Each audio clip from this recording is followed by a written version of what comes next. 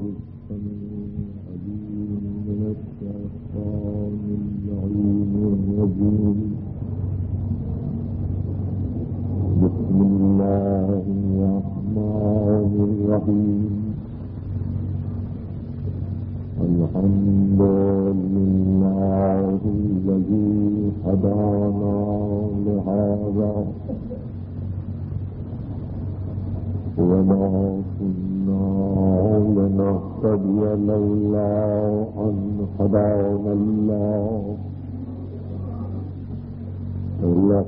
جاءت رسل ربنا بالحق والصلاة والسلام على النبي الأمي الخاتم لما سبق والفاتح لمن غلق المعلن الحق بالحق بالقاسم محمد. وأهل بيت الطيبين الطاهرين المعصومين المظلومين. الذين أذهب الله عنهم الرجس وطهرهم تطهيرا.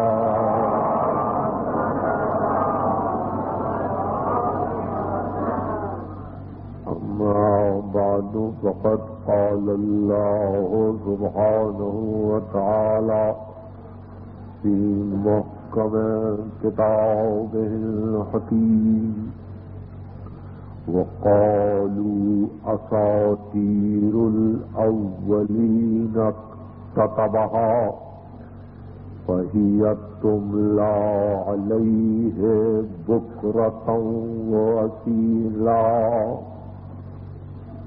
قل أنزله الذي يعلم السر في السماوات والأرض إنه كان غفورا رحيما.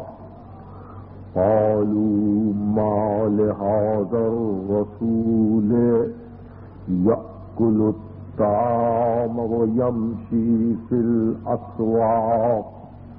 لولا أنزل إليه ملك فيكون معه نذيرا أو يلقى إليه كنز أو تكون له جنة يأكل منها إن تتبعون إلا رجلا مسهورا صلوات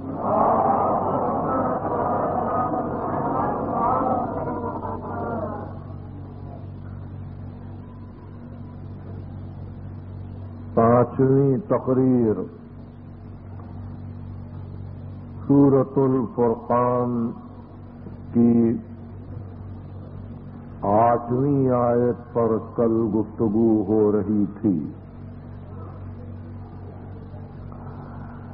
جیسا کہ اس سے پہلے ارد کر چکا ہوں، مجھے حجاب آتا ہے کہ میں اپنے آپ کو بحیثیت ایک مفسر کے یا شارح کے پیش کروں۔ یہ حقیقت ہے کہ ایک طالب علم کی حیثیت سے میں نے قرآن کو پڑھنا شروع کیا ہے اور ہمارے علماء اعلام کی فکر کے ساتھ ساتھ میں آگے بڑھنے کی کوشش کر رہا ہوں۔ کوشش یہی ہے کہ میں ان کا ترجمان بنوں اور آپ تک ان کے خیالات کو پہنچاؤں۔ خصوصیت کے ساتھ میرے پاس قابل ذکر وہ علماء ہیں۔ کہ جن پر آپ قیامت تک ناز کریں تو وہ ناز بیجا نہیں ہوگا۔ اس میں شیخ صدوق ہے اس میں شیخ مفید ہے سید رضی ہے سید مرتضی علم الخدا ہے اس میں تورسی ہیں، اس میں صاحب صافی ہیں۔ یعنی یہ سب مفسرین کے میں نے نام لیے ہیں کہ جن کی تفاصیر اور جن کے مقدمات تفاصیر آج ہماری رہبری کرتے ہیں۔ سید مرتدہ علم الہدا وہ بزرگ ہیں کہ جن کے متعلق یہ تعارف بہت ہی اچھا ہوگا۔ کہ یہ شیخ مفید کے بظاہر شاگرد ہیں، مگر شیخ مفید جس شاگرد کی ذات پر ناز کرتے ہیں، وہ شاگرد سید رضی کے بھائی ہیں جامع نہج البلاغا جو تھے۔ اصول فقہ پر پہلا کام سید مرتضی نے کیا ہے۔ قرآن کے متعلق سید مرتضی علم الہدا نے جو فیصلہ سنایا وہ بہت ہی عجیب و غریب ہے۔ وہ اپنے مقدمے میں لکھتے ہیں کہ دلائل عقل و نقل سے ہم پر یہ واضح ہو چکا ہے۔ کہ اس وقت جو قرآن ہمارے ہاتھوں میں موجود ہے، وہ زمانہ رسالت میں مدون و معلف ہو چکا تھا اور اسی پر اجماع آل محمد واقع ہوا۔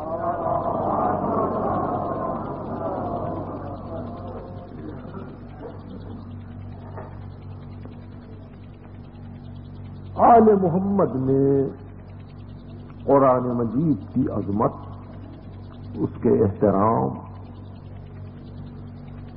اس کا صحیح تعارف اور اس سے استنبات احکام کے جو اصول معین فرمائے ہیں، وہ سوا اس گھرانے کے کسی کے لیے میسر نہیں۔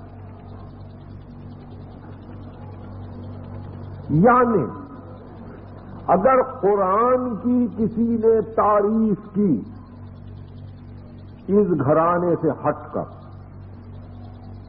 تو وہ تعریف اتنی سرسری ہے، اتنی مبہم ہے، اتنی غیر واضح ہے کہ آج ایک عامی سے عامی انسان بھی قرآن کے متعلق یہی کہے گا۔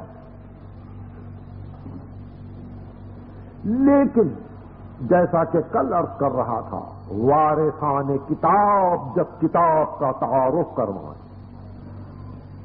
تو اس وقت وہ تعارف اتنا صحیح ہوتا ہے کہ دل چاہتا ہے کہ اس تعارف کے ساتھ ساتھ ہم قرآن کی معرفت حاصل کریں۔ ہم قرآن کو پہچانیں۔ ہم قرآن کو جانیں۔ کفار تو یہی کہتے تھے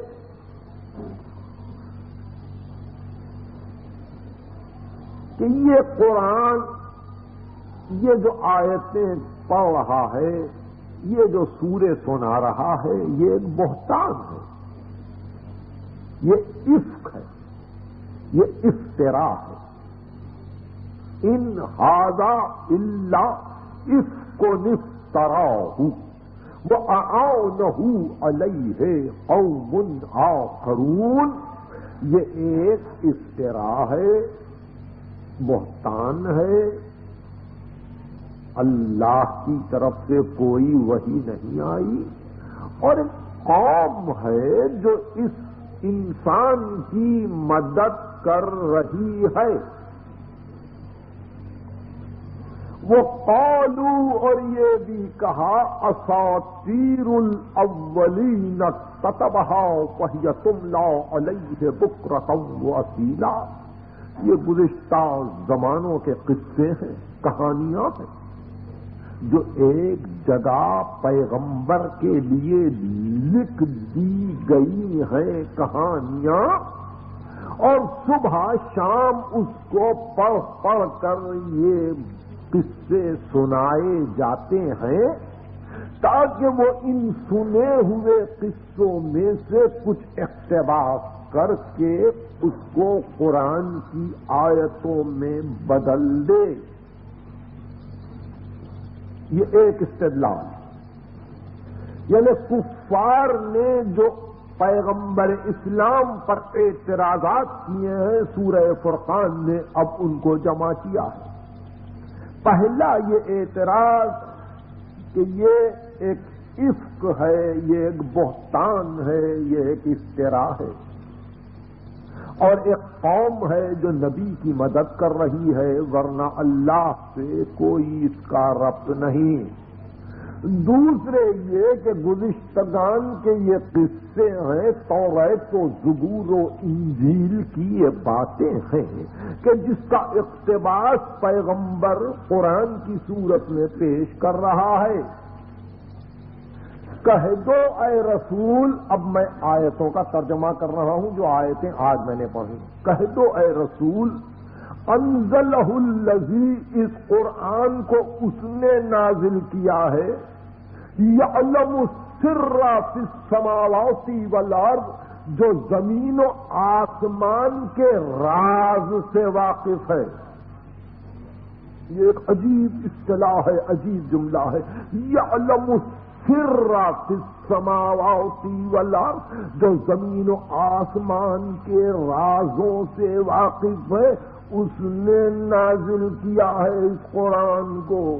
وہ غفور بھی ہے، وہ رحیم بھی ہے۔ مگر کافروں نے یہ کہا قالو ان سبوں نے یہ کہا، مال حاضر رسول کیا ہو گیا اس رسول کو یا کل الطعام و یمشی فل یہ تو روٹی کھاتا ہے، یہ تو غذا کھاتا ہے اور بازاروں میں گھومتا ہے۔ یہ عقل تعام اور مشی فسوخ یعنی بازار میں چلنا اور روٹی کھانا، ان کی نگاہوں میں شان رسالت کے خلاف ہے۔ وقالوا ما لهذا الرسول يأكل الطعام ويمشي في الأسواق. کیا ہو گیا اس رسول کو کہ یہ تو غذا کھاتا ہے، بازاروں میں چلتا پھرتا نظر آتا ہے۔ لولا انزل الیہ ملکن اگر یہ رسول ہوتا تو ملک بھی اس کے ساتھ ساتھ ہوتا، ایک فرشتہ بھی ساتھ ہوتا جو کبھی نظر آتا، کبھی غائب ہو جاتا۔ تو ماہو نذیرہ جو اس کے ساتھ ساتھ مل کر دنیا کو ڈراتا ڈرا تو ہم یہ سمجھتے کہ ایک ماں بشری طاقت بھی ساتھ ساتھ ہے، نہ فرشتہ ہی آتا ہے، نہ یہ غذا کھانا چھوڑتا ہے، نہ یہ بازاروں میں گھومنے کو چھوڑتا ہے۔ ہم اس کو کیسے نبی مان لیں جو تعام کھائے، جو بازاروں میں گھومے، جس کے ساتھ ملک نہ ہو، ہم اس کو رسول کیسے مان لیں؟ یہ منزلیں۔ پہلے تو کہا عفق ہے، دوسرے کہا کہ قوم مدد کر رہی ہے، تیسرے یہ کہا کہ غذا کھاتا ہے، بازار میں گھومتا ہے، اور پھر یہ کہ اگر اس کے ساتھ کوئی فرشتہ آتا تو یقیناً اس کی معیت میں وہ ڈرانے والا بھی ساتھ ساتھ ہوتا۔ نہیں اور آگے کا اویل ہے کنزن، یا تو یہ ہونا چاہیے تھا کہ خزانے کا خزانہ اس پر نازل کر دیا جاتا کہ لو یہ دولتوں کو لٹاؤ، یہ اپنی امت کو کھلاؤ، یہ جو مانگ رہے ہیں ان کو دیتے جاؤ۔ او سکون لہو جنتن، یا اس کے پاس کوئی اتنا بڑا باغ ہوتا کہ بغیر کوشش کے اس کے لیے ساری غذائیں وہاں تیار ہو جاتی۔ خزانے کو ساتھ لاتا یا اس کے ساتھ ساتھ کوئی باغ ہوتا کہ جس باغ سے وہ خود کھاتا، دوسروں کو کھلاتا۔ چونکہ یہ ساری چیزیں نہیں ہیں اس واسطے ہم اس کی رسالت کے قائل نہیں ہیں۔ یہ سورت الفرقان پچیسواں سورہ تو کفار کی نگاہ، کفار کی نظر، کفار کی فکر میں شان رسالت کیا ہے؟ غذا نہ کھائے بازار میں نہ نکلے، ساتھ فرشتہ ہو، ایک غیبی طاقت ساتھ ہو، کوئی خزانہ لٹانے کو ہر وقت موجود ہو، کوئی باغ رکھتا ہو، تاکہ اس میں سے برابر غذا ملتی رہے۔ یہ کفار مکہ کا خیال تھا۔ پوچھنا یہ ہے کہ ساڑھے تیرہ سو برس گزرنے کے بعد کیا اس مادی فکر میں اب کوئی تبدیلی ہو گئی؟ کیا وہ میٹیریلسٹک ویو اب ختم ہو گیا؟ کیا وہ مادی نظر اب ختم ہو گئی؟ دریافت لب یہ امر ہے تاکہ میں آیتوں کا ترجمہ کر کے اور آگے بڑھ جاؤں۔ آج ہم سے کہا جاتا ہے، آپ اس ولی سے ملے۔ ہم نے کہا، کون؟ کہ وہ وہ جو پہاڑ پر سے نیچے اترتا نہیں۔ کا کتنے دن ہو گئے؟ کا چالیس برس ہو گئے۔ کسی سے بولتا نہیں، کسی سے بات نہیں کرتا، اور ہم نے تو اس کو کھاتے پیتے ہوئے بھی نہیں دیکھا۔ اس لیے ولی ہے۔ دنیا کی نگاہوں میں اب بھی مانائے ولایت اس بت سے کم نہیں۔ جو کسی خانے کعبہ کے محراب میں آج تک نظر آ رہا ہو ٹوٹ جانے کے باوجود تو دیے جانے کے باوجود اب بھی اس کی جھلکیاں باقی ہو جو کسی محراب میں ہو، چپ ہو، کسی سے نہ بولے، نہ کھائے، نہ پیے، نہ بازار میں نظر آئے۔ وہ خدا، جب خدا ایسا ہو تو ولی ایسا۔ جو انسان کی صورت میں تو رہے، مگر سیوا اسی بت کا ہو کہ غذا نہ کھائے، بازار میں نظر نہ آئے۔ دو تیسرے یہ کہ خزانہ کیوں نازل نہیں ہوتا؟ جب کلمہ پڑھے تو لاؤ جب کلمہ پڑھ لے تو کھلاؤ جب امتی بن جائے تو دو اور اگر نہیں دیتے تو پھر تاریخ کے دھارے کو بدل کے رکھ دیں گے۔ میں نے سب کچھ کہہ دیا، اس ایک جملے میں تاریخ کے دورے کو بدل کے رکھ دیں گے۔ اگر کچھ نہیں ملتا اور دل کا ہے قانون خزانہ کیوں نازل نہیں ہوتا؟ بدر میں مال غنیمت ملا، خیبر میں مال غنیمت ملا، خندق میں کتنا مال ملا اتنا مال ملا۔ لوگ اس کو اپنے گھروں تک نقل نہ کر سکے، منتقل نہ کر سکے، لے جا نہ سکے۔ اپنے لیے مزدور ڈھونڈتے تھے کہ اتنے مزدور ہو جائیں جو ایک ایک اپنے مال غنیمت کو ساتھ لے جائیں۔ او یلقا الیہ کنزون، نگاہیں خزانے کو ڈھونڈ رہی تھی کہ ساتھ کیوں نہیں آیا؟ مگر نبی نے بتلایا، ساتھ نہیں لاتا ہوں خزانہ۔ مگر پھر بھی نفس انسانی کی تسلی کے لیے اس فقیر قوم کو اتنا دوں گا، اتنا دوں گا کہ یہ دنیا کی قوموں میں سرفراز و ممتاز ہو جائے۔ وہ جو یہودیوں کے دس نگر تھے، وہ جو نفرانیوں کے دس نگر تھے یہودی باقی نہیں رہے۔ اور پھر پیغمبر اسلام نے کہا کہ اب وہ وقت بھی آ گیا ہے کہ ان کے ہاتھ کا زبیحہ بھی تمہارے لیے جائز نہیں ہے۔ جاؤ، میں نے تم کو آزاد کر دیا ہے۔ اب تم کو کسی سے گھبرانے کی فکر نہیں۔ تم کو مالی اعتبار سے اب دنیا کی کوئی طاقت پریشان نہیں کرے گی۔ اتنا دے رہا ہوں کہ تمہارے پاس مصر کا خراج آئے گا، افریقہ کا خراج آئے گا، تمہارے پاس مشرق وسطی کا خراج آئے گا، تمہارے پاس عجم کا خراج آئے گا۔ اتنا دے رہا ہوں کہ تم حیران ہو جاؤ گے کہ یہ یہ اونٹوں کو چرانے والے اور یہ نجاست اور غلازت اور پاکی اور تہارت میں تمیز نہ کرنے والے یہ کس طرح سے دارا وہ سکندر کے درباروں میں در آئیں گے اور کس طرح سے کاکے کسرا اور کسرا اور ایوان دارا کو الٹ دیں گے، یہ تم کو بعد میں معلوم ہو جائے گا۔ یہ سب کچھ دیا، یہ سب کچھ دیا۔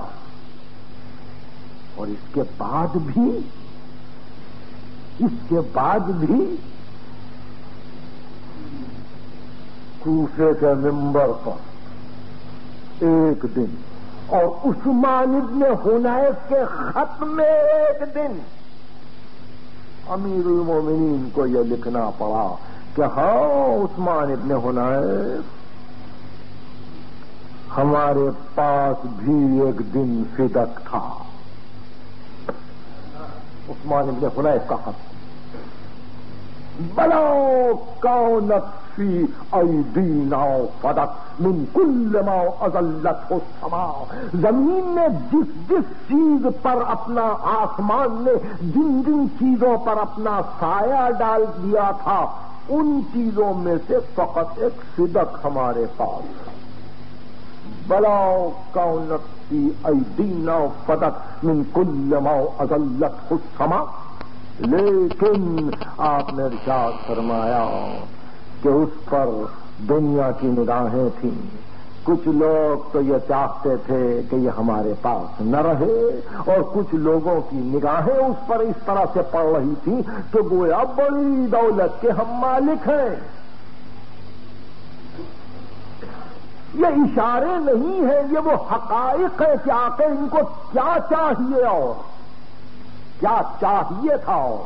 ابن ابی الحبیب معتزلی نے جب فیصلہ اپنا سنایا اس پوری بحث کے بعد تو یہ لکھا۔ کہ فقط فقط افریقہ کا خراج اگر جمع کر لیا جاتا تو سارے لشکروں کے لیے کافی تھا اور فقط یہ سمجھ کر کہ رسول نے اپنی بیٹی کو صدیقہ کہا۔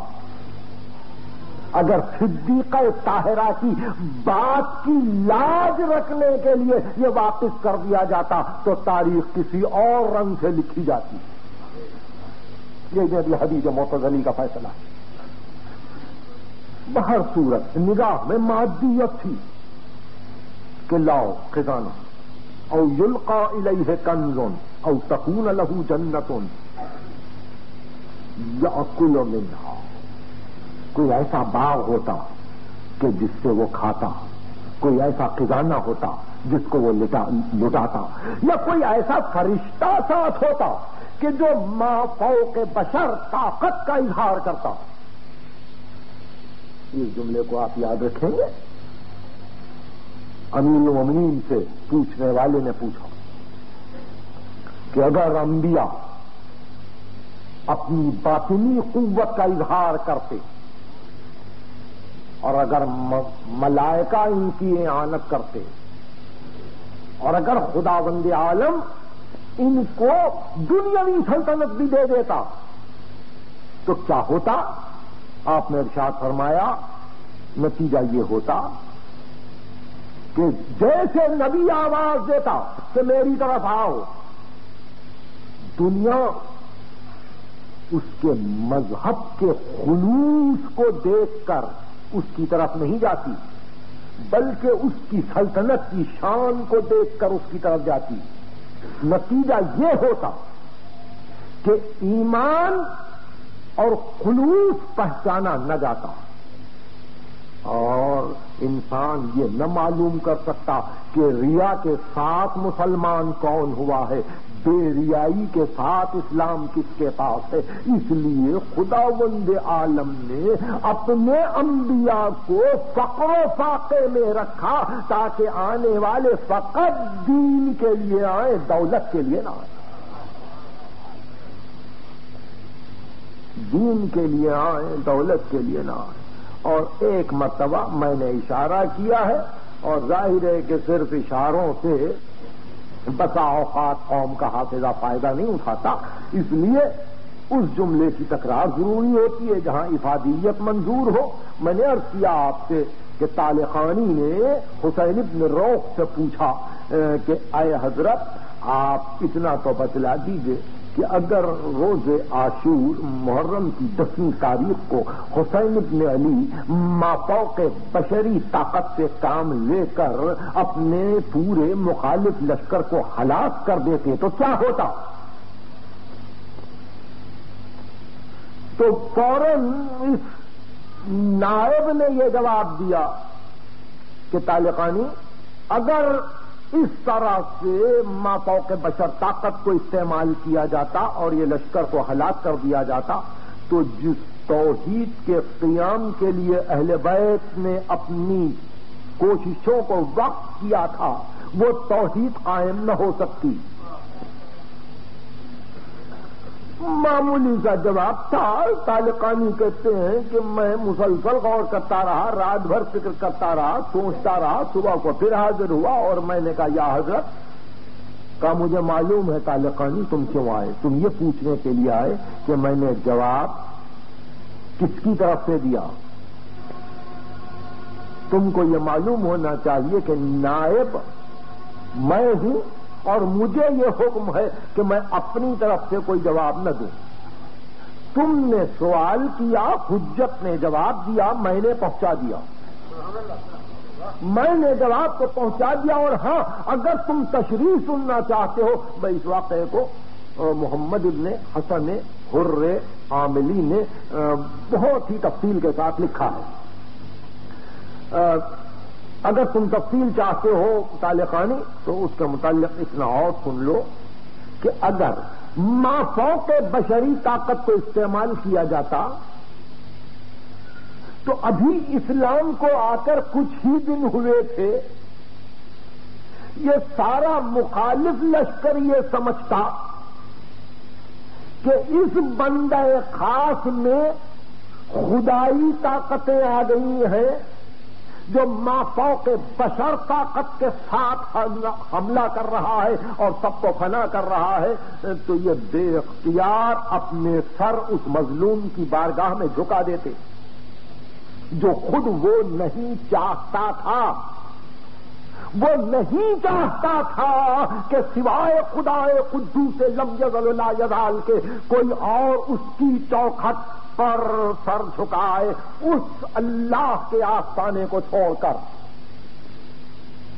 اب معلوم نہیں اس روایت کو خواجہ اجمیری نے پڑھا تھا کہ نہیں پڑھا تھا۔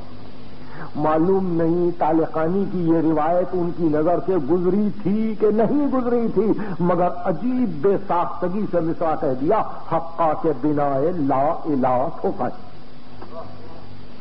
ایک بے ساختہ مصرا کہہ دیا، مگر اس کی تشریح یہ ہے جو آج آپ کی خدمت میں پیش کر رہا ہوں۔ تو ماں فوق بشری طاقت سے انبیاء اگر کام لیتے، تو توحید میں خلل ہوتا۔ بجائے اللہ کو سجدہ کرنے کے، دنیا انبیاء کو سجدہ کرتی۔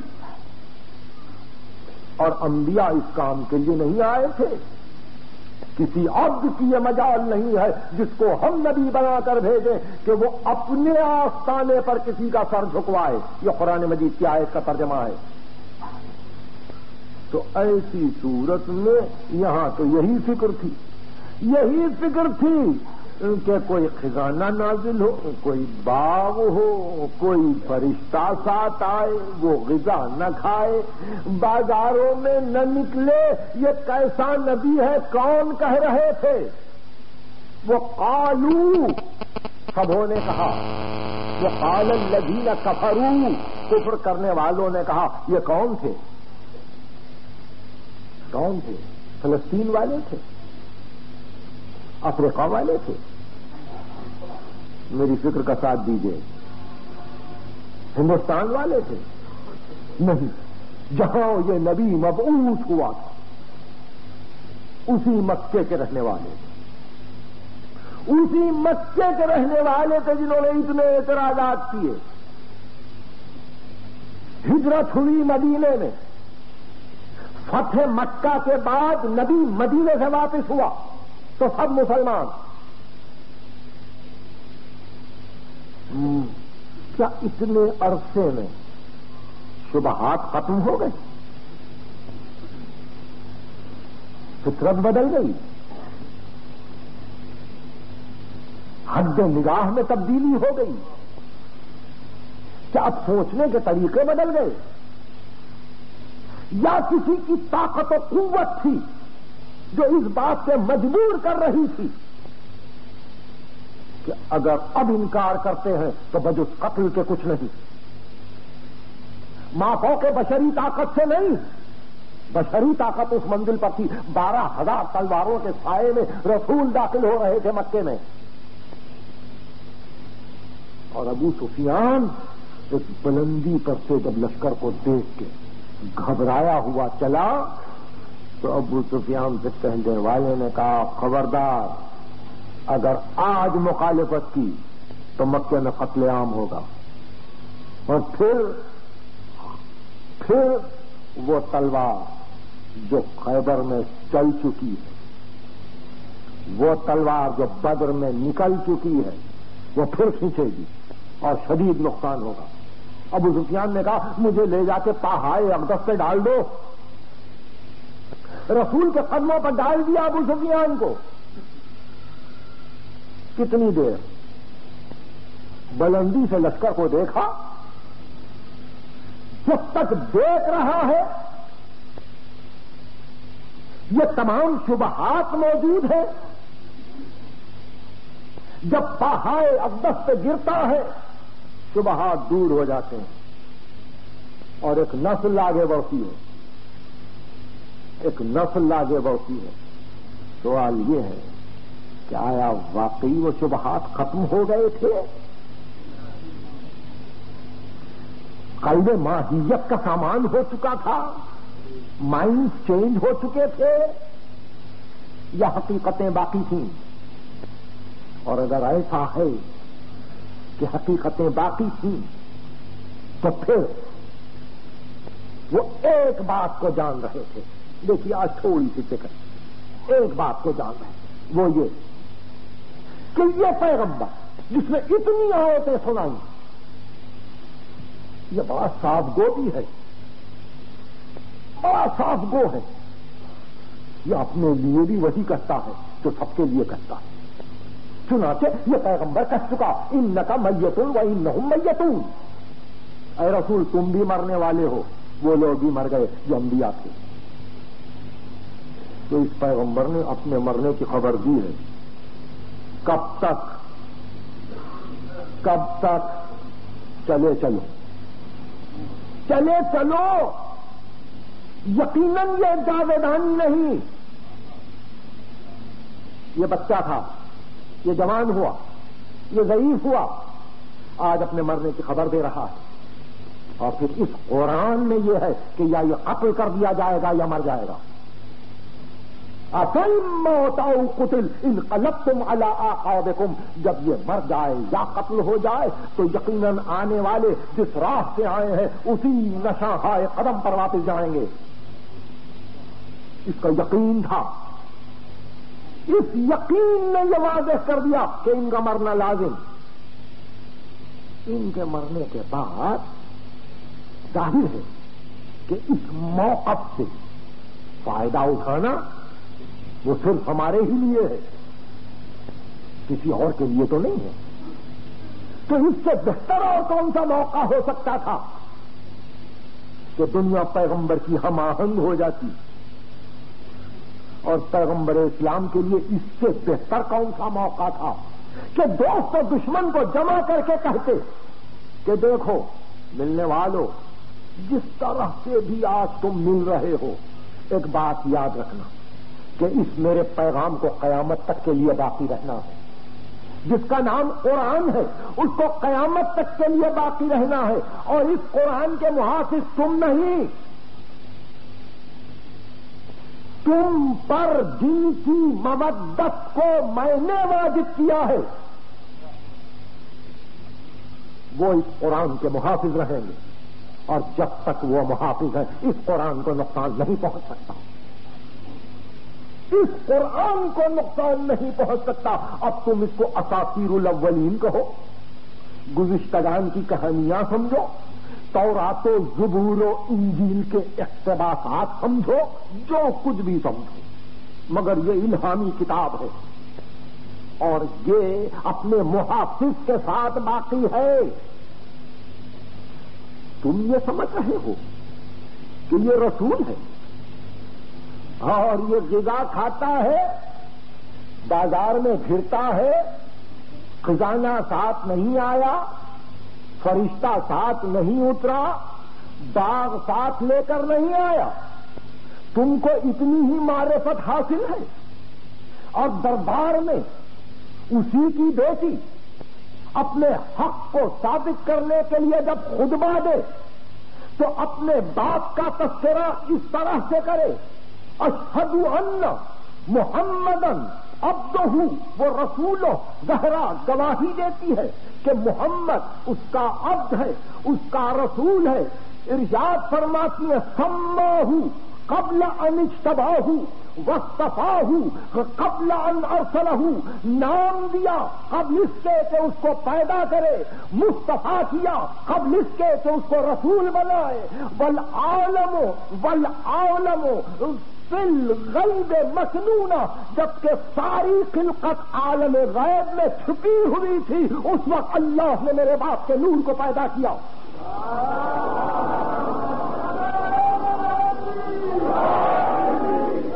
کسی کی مجال نہ تھی دربار میں کہ یہ کہے، زہرا، یہ تم اس انسان کی تعریف کر رہی ہو؟ یا کل تام و جمشی فی الاسوا جو غذا کھاتا ہے اور بازاروں میں گھومتا ہے، تم یہ اس کی تعریف کر رہی ہو کہ وقت ہوں قبلان اور فل ہوں کہ اللہ نے اس کو مستفا کیا قبل اس کے رسالت دے درگزیدہ بنایا، قبل اس کے رسول بنا۔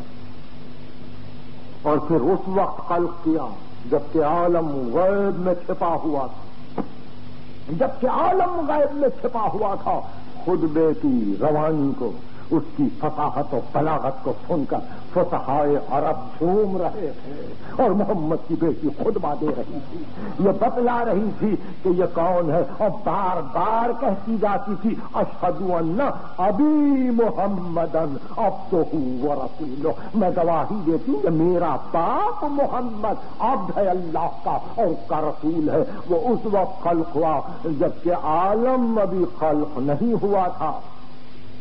کون ہے؟ یہ عارف محمد۔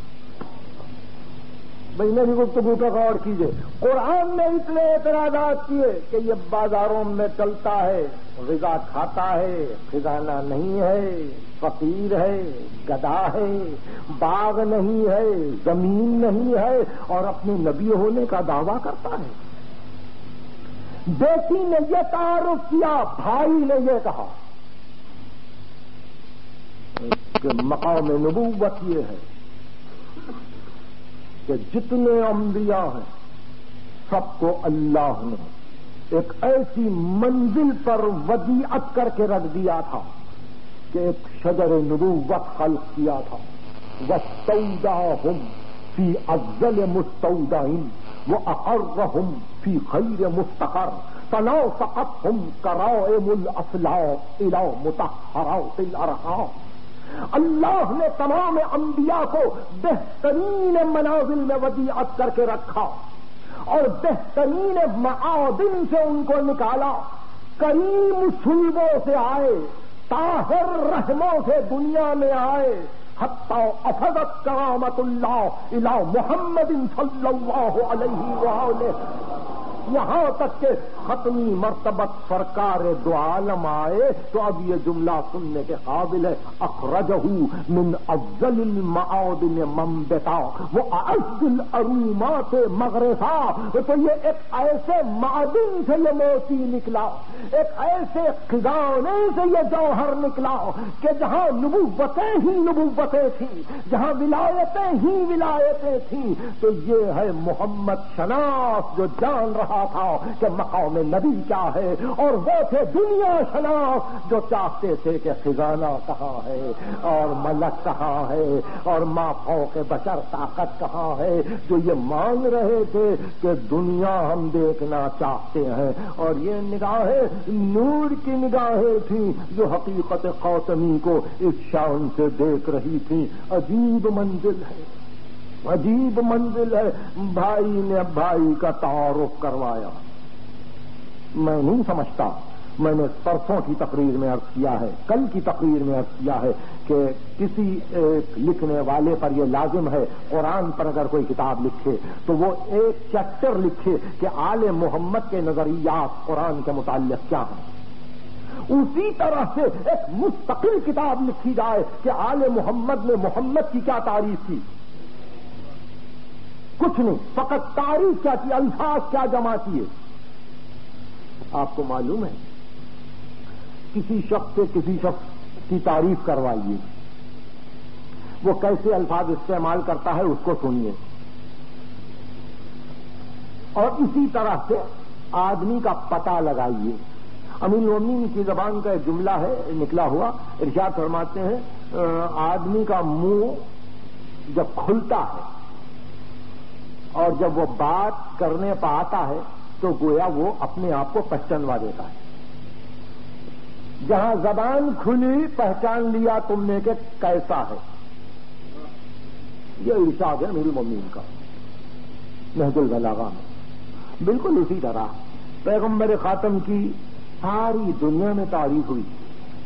کس مسلمان نے تعریف نہیں کی؟ اور کون اب تعریف نہیں کرتا ہے؟ مگر جو تعریف امیر المومنین نے کی۔ کلر کر رہا تھا، قرآن کے متعلق یہ کہا۔ تو جس کے دل پر قرآن نازل ہوا، اس کے متعلق یہ کہا۔ کہ کون نبی ارجاد فرماتے اسرت ہوں خیر الاسر اسرت ہوں خیر الاتر شجرت ہوں خیر الشجر، نبتت فی حرم و بسقت فی کرم سنت ہو رشد کلام ہل فصل حکم ہل عادل وہ نبی کہ جس کا گھرانہ بہترین گھرانہ، جس کی عطرت بہترین عطرت، جس کا شجر بہترین شجر جو حرم سے نکلا اور ساری دنیا پر چھا گیا، جس کی سنت فضل ہی فضل جس کا حکم عادل ہی عادل، جس کے کلام میں فضیلت ہی فضیلت۔ یہ ہے وہ کہ جو اپنے بھائی کو روشناس کروا رہا ہے کہ دنیا اگر اب بھی نبی کو نہیں پہچان سکی تو پہچان لے۔ پہچان لے۔ لیکن شاید یہی باتیں دنیا کو پسند نہیں ہوئی۔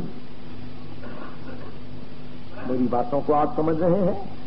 یعنی اس امر کو دنیا نے مبالغہ سمجھا۔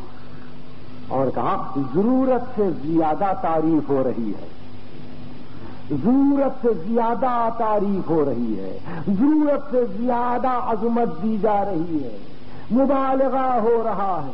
تو چونکہ نام پیغمبر کا تھا، اس لیے کچھ کہہ تو نہ سکے۔ کچھ کہہ تو نہ سکے کہ کیوں مجھے تعریف ہو رہی ہے۔ مگر یہ ضرور کہا کہ اگر کوئی اور ان الفاظ کو استعمال کرے تو وہ غلو ہے۔ وہ حد سے بڑھ جانا ہے۔ وہ حدود کو توڑ کے نکل جانا ہے۔ کیوں؟ پیغمبر کی اتنی تعریف، پیغمبر کی اتنی تعریف۔ تو عجیب بات یہ ہے کہ اگر یہ تعریف پیغمبر و قرآن کی اہل بیت نہ کرتے، تو واقعی کوئی پہچان بھی سکتا؟ قرآن کو اور رسول کو کوئی پہچان بھی سکتا؟ پیغمبر کی تعریف کی تو واضح کر دیا کہ اگر یہ نہ آتے تو دنیا میں ظلمت ہی رہتی۔ اور قرآن کی تعریف کی تو یہ واضح کر دیا کہ یہ وہ کتاب ہے، یہ وہ کتاب ہے کہ جس نے ہدایت کی راہوں کو کھول دیا۔ میں شاید آج اپنے سلسلہ کلام میں اگر دو چار منٹ مجھے مل جائیں یا کل، میں ایک جملہ امیر المین کے کلام سے ایسا پڑھنے والا ہوں قرآن کے متعلق کہ اولین و آخرین میں کسی نے قرآن کی یہ تعریف نہیں کی ہے۔ اولین و آخرین میں کسی نے قرآن کی یہ تعریف نہیں کی ہے جو علی نے قرآن کو روشناس کیا ہے کہ قرآن کیا ہے۔ مختلف مقامات پر امیر مومین نے قرآن کے متعلق بہت سے جملے کہے۔ ایک مقام پہ فرمایا، تعلم القرآن پڑھاؤ قرآن کو، قرآن کی تعلیم دیا کرو۔ اپنے بچوں کو قرآن پڑھاؤ۔ تم حاصل کرو قرآن کے علم کو، تعلم القرآن، فإنه احسن الحدیث اس لیے کہ احسن حدیث ہے قرآن۔ یعنی واقعات کو بیان کرنے کا اس سے بہتر کوئی ذریعہ نہیں ہے۔ اگر علم حاصل کرو تو قرآن کا۔ تعلم القرآن، فإنه احسن الحدیث۔ وہ فی فإنه ربیع القلوب اس قرآن میں غور کرو، اس لیے کہ دلوں کی بہار ہے قرآن۔ وسطوب نور ہی پین شفا الصدور اور اس کے نور سے شفا طلب کرو تاکہ دلوں کی بیماریاں دور ہوں۔ یہ امیر المومنین نہیں کہہ سکتے ہیں نا؟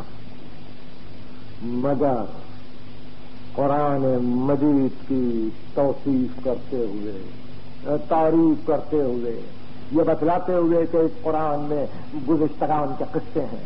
اس قرآن میں تمہارے لیے مستقبل کی باتیں ہیں۔ اس قرآن میں تمہارے لیے سب کچھ ہے۔ ایک عجیب جملہ امیر المومنین نے کہا۔ ایک عجیب جملہ کہہ دیا اور وہ جملہ یہ ہے جس کے متعلق میں نے کہا تھا کہ اگر موقع ملے تو کہہ دوں گا لیجیے ابھی سن لیجیے تاکہ کم از کم اس کو آپ محفوظ رکھیں جب مجھے زمانہ ساتھ دے، میں اس کی شرح کروں گا۔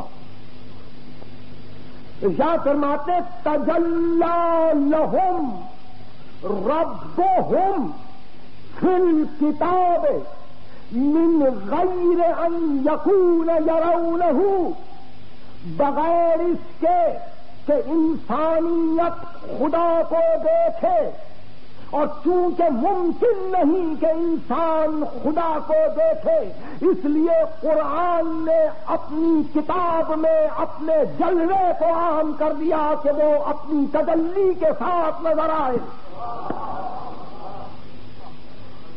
یہ امیر المومنین کا کلام ہے۔